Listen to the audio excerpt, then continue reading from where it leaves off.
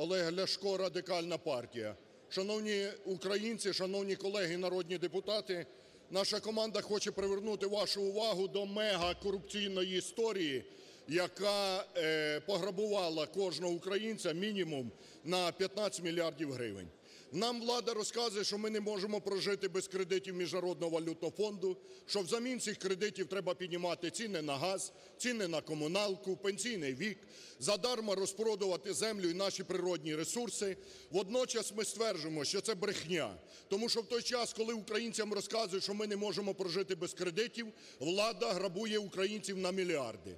6 березня нинішнього року Національна комісія з питань регулювання зв'язку провела тендер на продаж 4G-частот, в якому брали участь три компанії, російські, до речі, три компанії. Було продано 6 лотів на загальну суму 5,5 мільярдів гривень. Нам влада розказує, до речі, в цьому тендері брав участь і Президент України Петро Порошенко. І він подав це як велику перемогу, що ми продали 4G-частоти за 5,5 мільярдів гривень.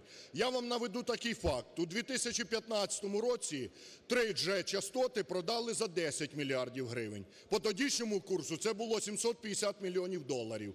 Зараз продали за 5,5 мільярдів гривень, по нинішньому курсу це 200 мільйонів доларів. Для порівняння.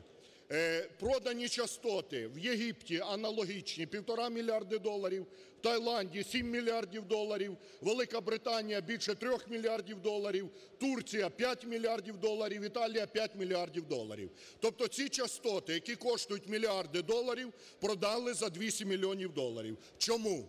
Тому що Нацкомісія, яку очолює вихідець із компанії Порошенка на прізвище Животовський, а насправді правильно було б його назвати Животіна, тому що грабувати українців в нинішніх умовах – це злочин і аморально, вони занизили стартову вартість.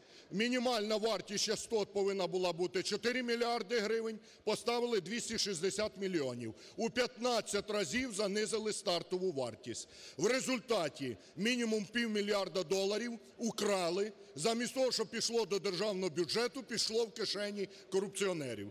Ми вимагаємо від уряду, від правоохоронних органів вжити всіх заходів для того, щоб скасувати цю корупційну змову, повторно провести тендер і чесно продати частоти. В результаті чесного тендеру український державний бюджет може отримати мільярд доларів замість 200 мільйонів, які сьогодні дали нам подачку. Замість того, щоб гроші йшли в кишені корупціонерів, вони повинні йти до державного бюджету і служити українцям. Я вимагаю від НАБУ, від Генеральної прокуратури розслідувати цю мегакорупцію, притягнути до відповідальності тих, хто вкрав півмільярда доларів в українців і посадити їх у тюрму.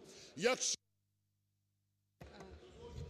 Будь ласка, 30 секунд завершити.